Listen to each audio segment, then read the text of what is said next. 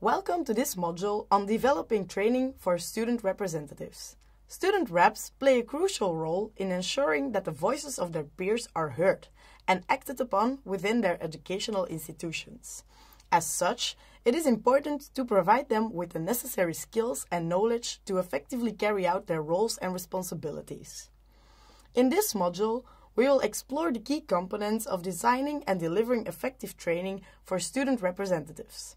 We will discuss the importance of understanding the needs and perspectives of student representatives, as well as identifying the learning objectives and outcomes of the training.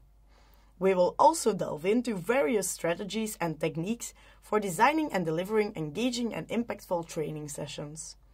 Whether you are an educator or student support staff, this module will provide you with the tools and insights to develop training programs that effectively support the development of student representatives.